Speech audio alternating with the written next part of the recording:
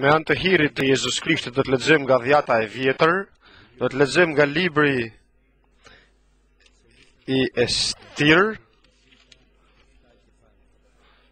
dhe nga kapitulli i 7. Pra në dhjatën e vjetër Estir Esterit nga kapitulli i 7. Mbreti dhe Hamani shkuan pra në banketin bashkë me mbretëreshën Ester. Edhe ditën e dytë, ndërsa gjatë banketit po shërbehej vera, mbreti i tha Esterit, "Cila është kërkesa jote o mbretëresh Ester? Do të të plotësohet. Çfarë kërkon?" Dhe sikur të jetë gjysma e mbretërisë sime do të bëhet. Atëherë mbretëresha Ester u përgjigj, në rast se kam gjetur hir në sytë e tu o mbret, dhe në qoftë se kështu i pëlqen mbretit, kërkesa ime është që të më jap, që të më jepet jeta dhe kërkoj që populli im të falet.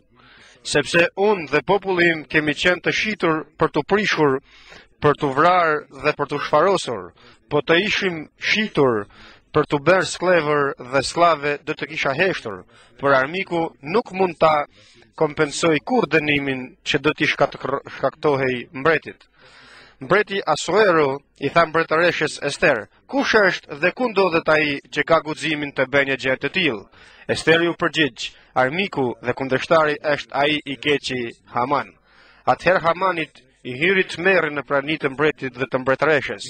Mbreti u ngrit shumë i zëmëruar nga banketi në të cilin shërbehej vera dhe shkoi në kopshtin e pallatit, ndërsa Hamani qëndroi për t'iu lutur me të madhe mbretëreshës Ester për jetën e tij, sepse e kishte kuptuar që mbreti kishte vendosur tashmë shkatërrimin e tij. Pastaj mbreti u kthye nga kopshti i pallatit në vendin e banketit ku shpërndahej vera. Ndërkaq Hamani kishte rënë mbi divanin në të cilin rrinte Esteri. Atëherë mbreti i tha: Dashkë gjithashtu të dhunosh mbretëreshën, ndërsa unë vetë jam në shtëpi, sa dolën këto fjalë nga goja e mbretit, i mbuluan fytyrën, ia mbuluan fytyrën Hamanit. Pastaj Harbonahu, një nga eunukët tha përpara mbretit, ja në shtëpinë e vetë Hamanit, është ngritur një trekëmbësh i lartë pesëdhjetë kubitë që Hamani kishte përgatitur për Mardokeun, i cili kishte folur për të mirën e mbretit. Mbreti tha, vareni aty këtë. Kështu Hamanin e varën në trekëmbëshin që kishte përgatitur për Mardokeun dhe zemërimi i mbretit u qetësua. Po atë ditë, mbreti Asuero I dha mbretëreshës Ester shtëpinë e Hamanit, armikut të judejvet, dhe Magdokeu erdhi para mbretit, të cilit Esteri i kishte shpjeguar se çfarë kishte se ç'ishte ai për të. Kështu mbreti i hoqi unazën që i kishte rimarrë Hamanit dhe ia dha Magdokeut. Pastaj Esteri e caktoi Magdokeun mbi shtëpinë e Hamanit. Amin. Esteri është një libër në Dhiatën e vjetër, një libër historik, por është frymëzues një libër frymëzues i fjalës së Perëndisë. Është një libër që përshkruan hollësisht një periudhë dhe çështjet për një kohë të caktuar të tek mbreti Asuero, një tek ne grekët për 4 vjet ku luftoi kundër Greqisë dhe humbi sigurisht me Greqinë. Pra ky mbreti Asuero. Është një libër sikurse gjithë fjala e Perëndisë është frymëzues, është për mësim. Edhe ky libër i Esterit ka një mesazh për popullin e Perëndisë. Se dhe thotë se mirësia e Perëndisë është ajo që bën të vendosë në lëvizje historinë e njerëzvet dhe duke patur në qendër popullin e Perëndisë ose dhe popullin e Izraelit. Armiku i cili është, ose ta them pak më ndryshe, populli dhe vepra e Perëndisë janë gjithmonë në qendër të gjitha fuqivet frymërore. Pra populli i Perëndisë, si përgjithshëm dhe si persona, vepra e Perëndisë, është në qendër të të gjithë fuqi të të gjitha fuqivet frymërore, është e mirë për bekim dhe mashtruese për të sjellë në mundim njerëzit. Domethënë, armiku e armikut tonë planifikon gjithmonë këtë ta kemi kujdes, vëllezër dhe motra. Armiku planifikon gjithmonë të keqen për popullin e Perëndisë, për veprën e Perëndisë dhe për njerëzit e Perëndisë. Dhe kur themi popull të Perëndisë, duam të themi sot të gjithë kishën. Akoma mund të themi një zonë, Akoma mund të themi edhe një kishë vendore, domethënë në një vend, ose mund të themi akoma për një familje, ose për një person, ose për një njeri. Armiku bën me shumë mashtrim që të ballafaqohet me atë njeri të Perëndisë, ashtu siç është që nga fillimi vdekjeprurës për njeriun, në mënyrë që njeriun të humbasë. Por mesazhi i këtij libri të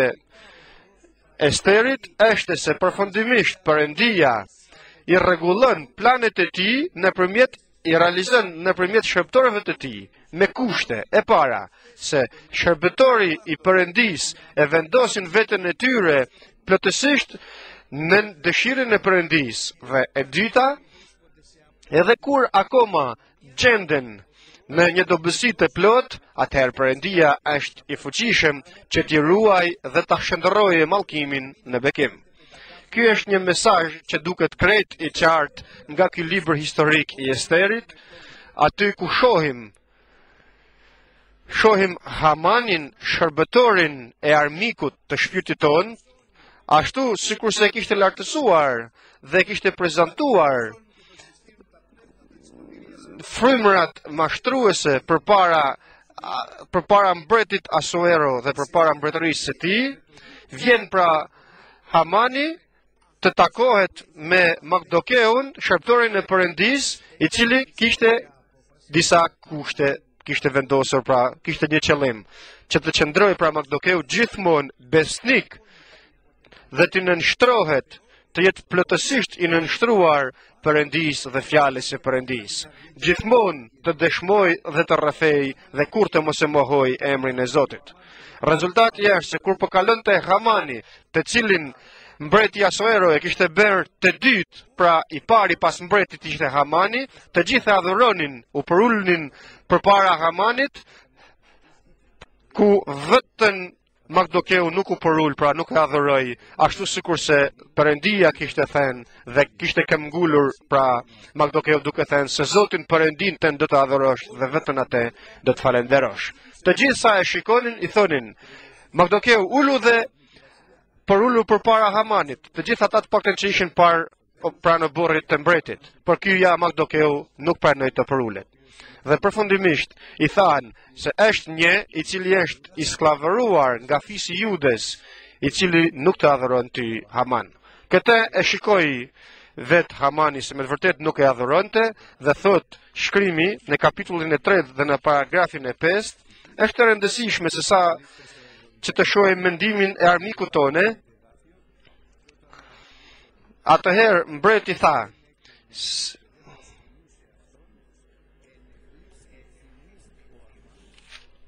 e, kur Hamani pa që Magdokeu nuk përkulej as binte përmbys para tij u zëmërua shumë, por nuk ndenji të shtri dorën e tij vetëm kundër Magdokeut, sepse e kishin njoftuar cilit popull i përkiste Magdokeut. Kështu Hamani vendosi të shkatërrojë tërë judenjtë, popullin e Magdokeut që, den, që gjendeshin në tërë mbretërinë e Asoerës. Pra, do të shkatërronte gjithë popullin e Judës për shkak të Magdokeut. Hamani. Ja pra, Hamani, jo vetëm që të vrasë dhe të shkatërrojë Magdokeun, por donte të shkatërronte gjithë popullin e Judës, gjithë popullin e Perëndisë dhe thjesht pra këtu të ndërpritet vepra e Perëndisë. Ky ishte vendimi i Hamanit dhe me shumë mashtrime vazhdon dhe përgatit zhvillimin dhe realizimin e planit të tij. në mënyrë që të ketë një rezultat të plotë në këtë. Dhe qëllimi i tij ishte që të bindte mbretin Asoero që të shkruante një urdhër, të firmoste urdhrin i cili nuk kthehej më pas, pasi ta firmoste dhe ta vuloste Asoero dhe askush dhe as vetë mbreti nuk mund ta kthente më atë firmë që kishte hedhur.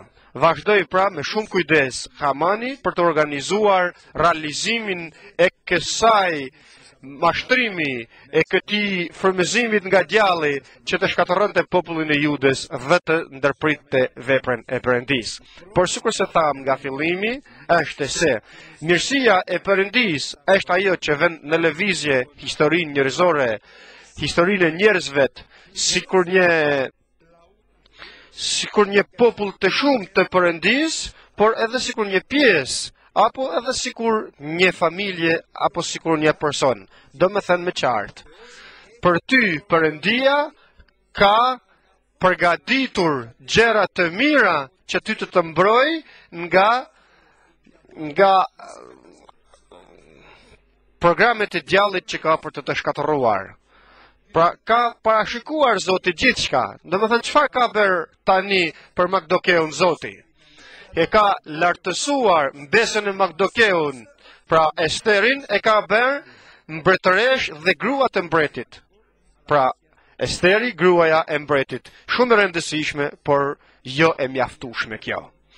Dhe mirësia e Perëndisë e bën që të përmbushet plani i Perëndisë për të shkatërruar veprat e djallit, duke vendosur Magdokeun që të bëhet dëshmitar ku në një moment kur donin të vrisnin mbretin Asuero, ndodhej Magdokeu aty. Dhe kur e kuptoi këtë Magdokeu, besnik në Zotin Magdokeu dhe bistek, besnik tek mbreti, shkoi pa hezituar aspak dhe pa u vonuar, shkoi dhe i shfaqi mbretit Asuero, duke i treguar se çfarë kanë përgatitur për të të bërë dhe ky është rezultat u shpëtua mbreti Asuero, u shpëtua edhe mbretëria e tij dhe si rezultat i kësaj të shpëtohet Juda dhe populli i Izraelit. Atëherë, përëndi, e, djalli përgadit të keqen nga njëra anë, por përpara se djalli të ketë përgatitur këta, Zoti që njeh të kaluaren, të tashmën dhe të ardhmen, i vetmi që e njef këtë të kaluaren, të tashmën dhe të ardhmen, dhe pra të djalli nuk fiton dot ndaj Perëndisë, përgadit Zoti përpara se djalli të ketë arritur planin e tij, përgadit shpëtimin e njerëzvet. Dhe këtë e përsërisim përsëri. Domethënë, Domethënë, është mirësia e Perëndisë, është bekimi i Perëndisë për të bekuar dhe për të të shpëtuar, për të arritur deri në fund dhe të futesh në mënyrë të pasur në mbretërinë qiellore, por me dy kushte. I para, e para, besnik, këmbëngulës, dëgjues, i përkushtuar plotësisht tek Perëndia dhe tek fjala e tij. Sepse përndryshe nuk mundet zoti të përdorë mirësinë e tij në qoftë se ne bëjmë atë që duam ne dhe nuk bëjmë atë që don Zoti. Dhe e dyta, nuk ka asnjë rëndësi në shpëtimin dhe në bekimin e Perëndisë, dobësia e përkohshme jote, apo pozicioni i vështirë në të cilën mund të ndodhesh nga kurthet dhe nga mashtrimet e djallit. Atëherë, rezultati ishte, Shk firmosi përfundimisht mbreti urdhrin, e vulosi urdhrin që të shkatërrohen të gjithë judenjtë në të gjithë aftokratorinë persike që ishte atëherë, në 478 përpara Krishtit, por pas këtij rezultatit fitimprurës e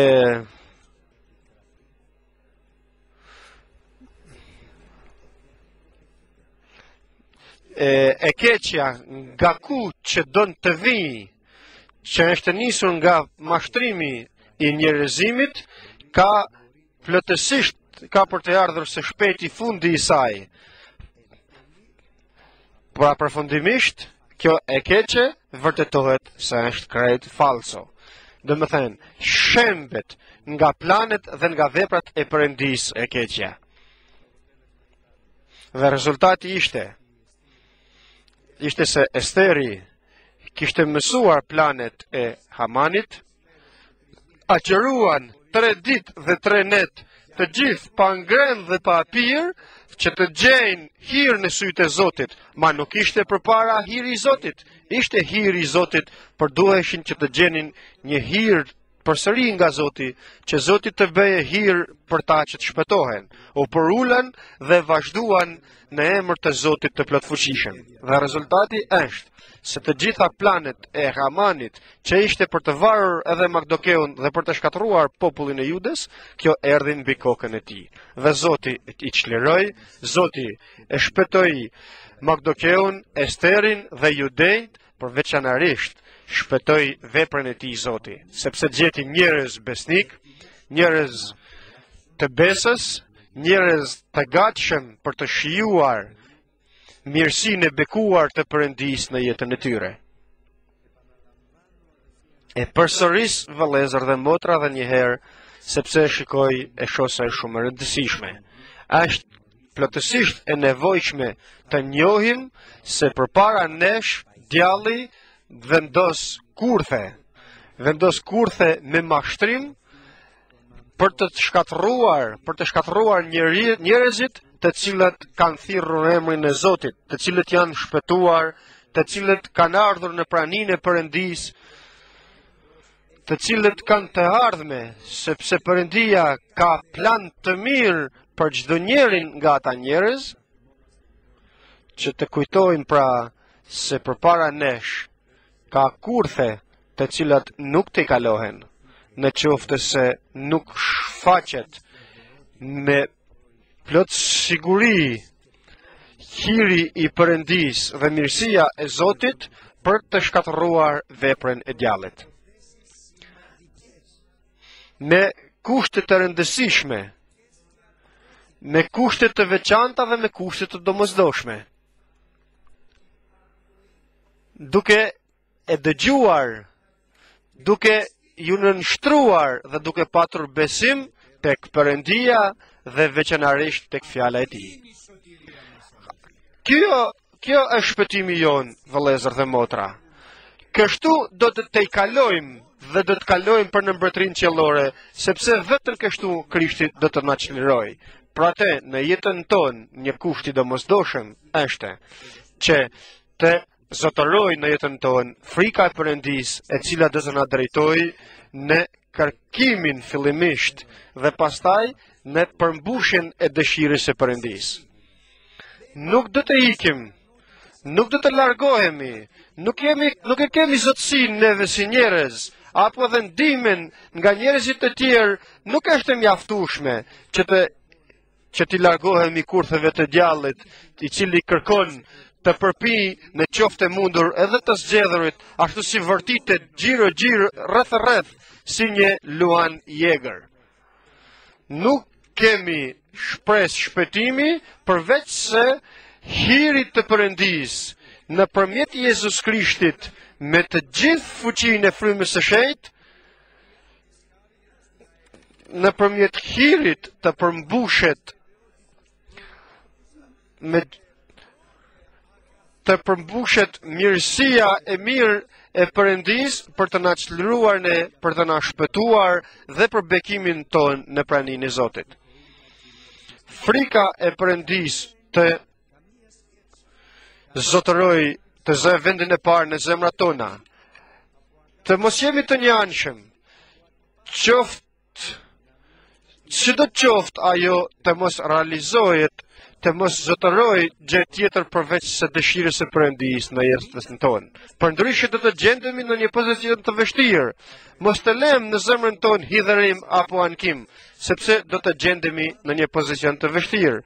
Të kërkojmë gjithmonë gjakun e Krishtit të pastrojë zemrën tonë, derisa përpara gjaku i Krishtit të na ketë pastruar ndërgjegjen tonë nga çdo gjë mashtruese apo e keqe, të kërkojmë Frymën e Shenjtë, të drejtojë rrugët tona, të drejtojë dëshirat tona dhe të drejtojë mendimet tona, që të jemi gjithmonë të drejtuar nga Fryma e Shenjtë, nuk është e vështirë, por është e domosdoshme. Është një rezultat lutjeje dhe një rezultat kërkimi. Në qoftë se duam që mirësia e Perëndisë të përparojë në jetën tonë, për të na përforcuar dhe për të na bekuar, është e domosdoshme që në këta të studiojmë, pra fjalën e Zotit, në këta të qëndrojmë dhe atëherë Zoti do të na japë rastin. Edhe të përparojmë nga ana frymërore dhe të jemi të sigurt. Të jemi të sigurt në praninë e Zotit. Dhe më e rëndësishmja të jemi gjithmonë të gatshëm për rrëmbimin e kishës. Amin.